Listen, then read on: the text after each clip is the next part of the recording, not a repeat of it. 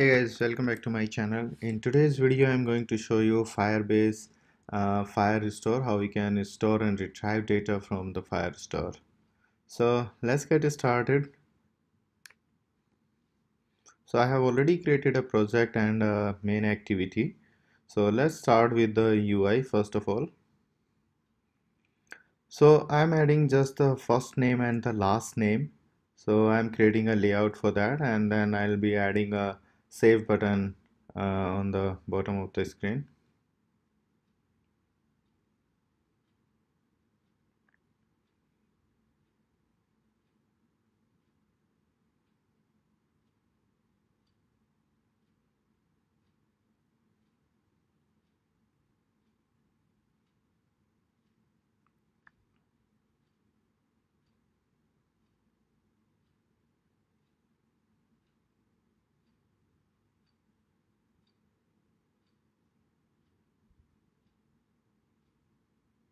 so our layout is ready. Now let's move to our activity. So let's re read what user has entered as a first name and the last name. So let's read the input box values and hold it in a variable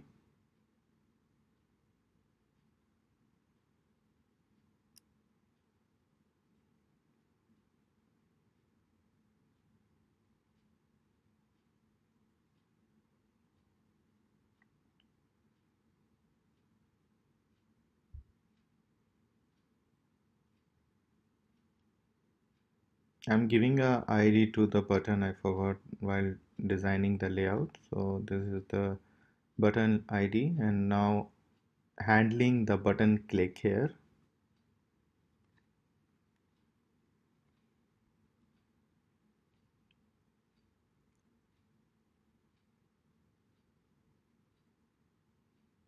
And I will call a function from here which is going to be taking the two parameter first entered first name and the last name. And I'm going to create a separate function for that. So all the Firestore related uh, code is going to be in this function only. So this function is for storing the data in the Firestore so let's go to our google console. I'll share the link in the description. So create a first project. So i'm going to show you how we can create a project. So give a name.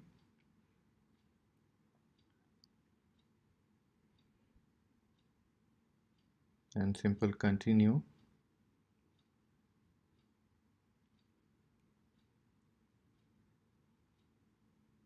Select this it will take some time to create.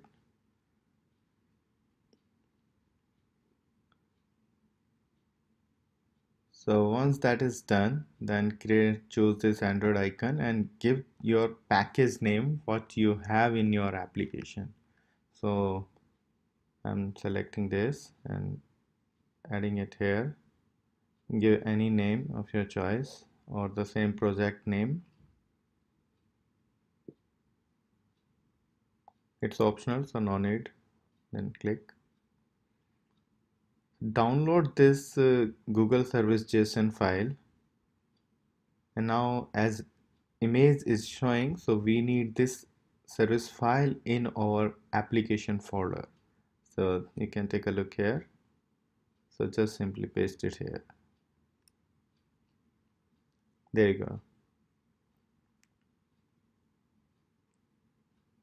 no need to modify this file. So now click on next.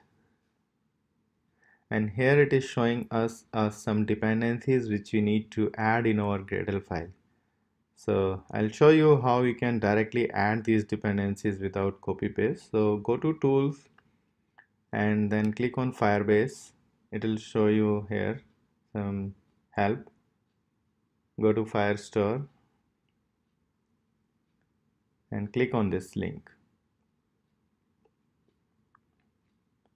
And click on this add. Yeah. So here we just need to accept this and it automatically add these dependencies in our Gradle file. Let our project to be synced now. And here you can see some code but this is in Java. We are going to use the Kotlin so we'll write our code separately. So now you can see all the dependencies has been added successfully and our project is synced now. So you can see this is the dependency it was showing and it is added in our project. You can add it manually too. Now let's go and uh, create a one database. So I'm going to use the test mode currently.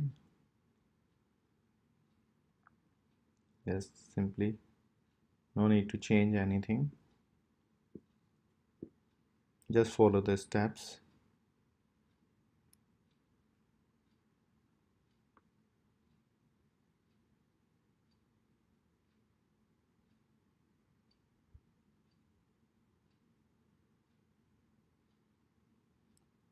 It takes some time to set up the project okay it's all ready now. And now let's start. So we need to give a name. I'm giving users.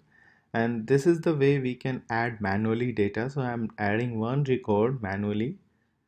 So that is going to be the first name and the last name. So here is the key first name and the string type and just adding a value. You can add another field for last name simple string and then I'm adding name as a value. And we need to pass this uh, as a document name but in our case from the code it is going to be manually uh, it is going to be automatically incremented. So as you can see we have successfully added one record uh, manually. Now we are going to add these records from the code. So let's start with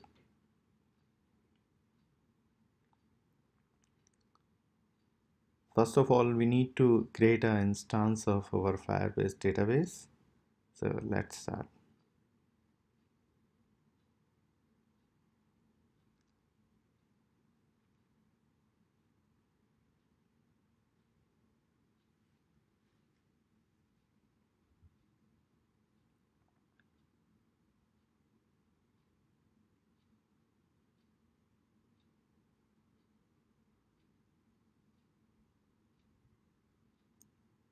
here I'm creating a data which is going to hold uh, in the hash map as a first name and the last name.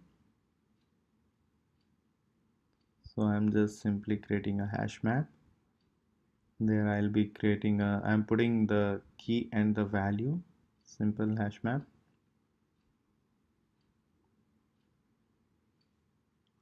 Key as a first name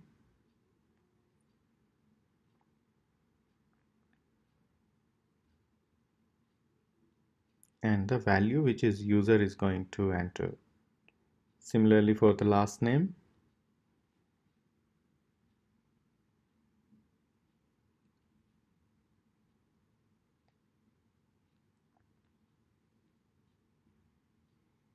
here we need to pass our uh, uh, database name. So that is the user which we already created over there. And now we need to add some listeners so success and failure listener need to add.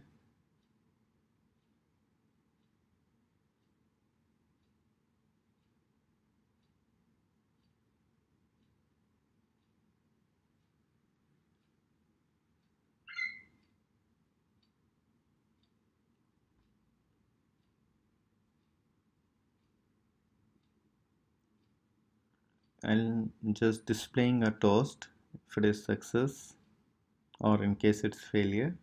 So it will show the appropriate error message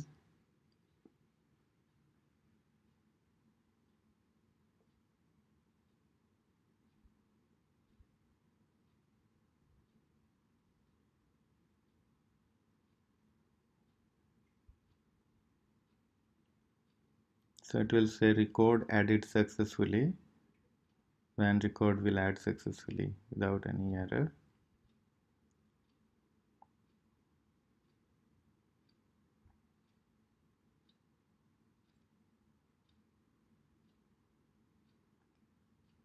also we need to add the listener for error in case it failed. This is the failure listener and there also I'm going to show the toast message let's copy it and paste it here. Let's change the error message to fail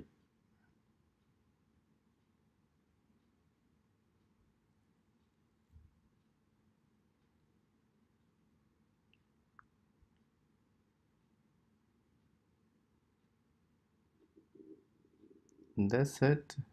And yeah let's run our application and see if we are able to add the records. There you go. So let's enter first name and last name. So you see the toast on the bottom. So we are successfully able to add a record. Let's see it here. So you see like it added a record that's great. Let's add another record over here.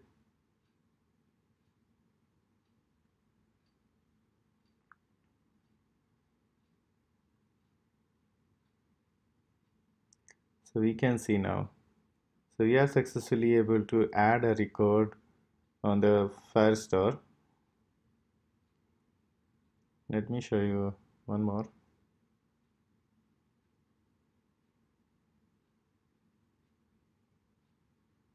there you go. So it's very quick because it's a small amount of data and it's very quick. That's the beauty of Firebase and Firestore. So let's write a code to retrieve data from the Firestore. So let me write another function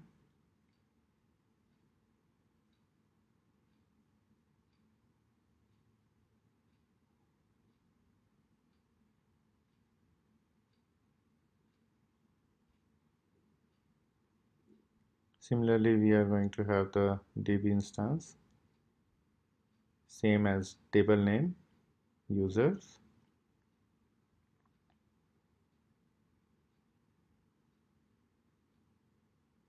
We need to get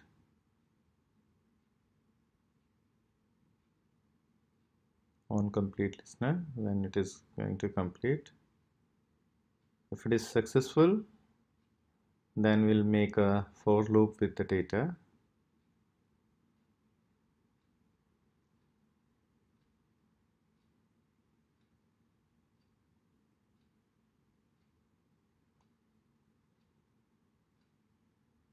Let's hold it this data in a string buffer so that we can append uh, first name and last name accordingly.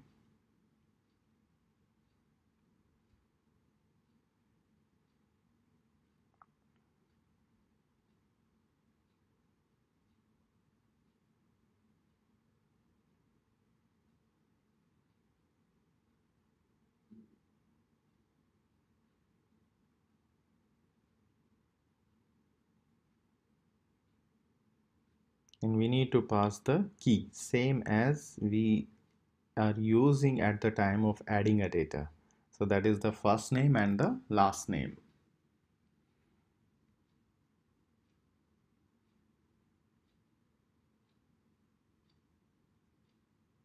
document dot data dot get value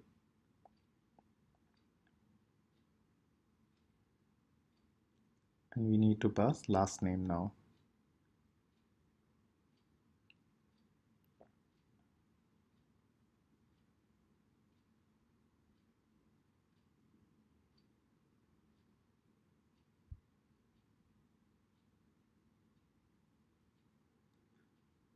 So just to display this data on our UI, we need to update our layout file. So let's add a text view on the under the save button so that we can see our results on this text view. So let's add this.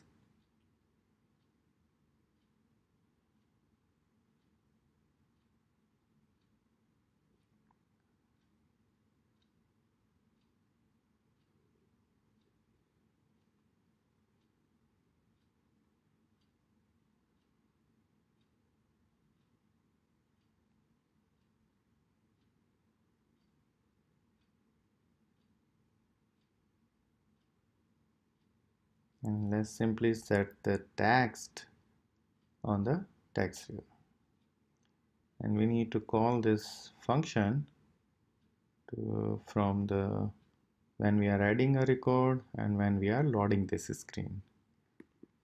That's it. Let's run this application and see. So we can see we can see the all records here. That's great now I'm going to add a new record.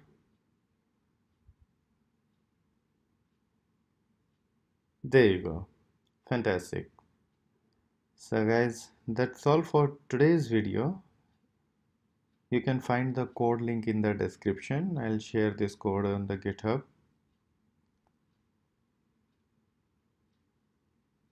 You can see all the records here thank you so much for watching this video. If you have any question you can ask me in the comment section. And don't forget to subscribe like and share. Thank you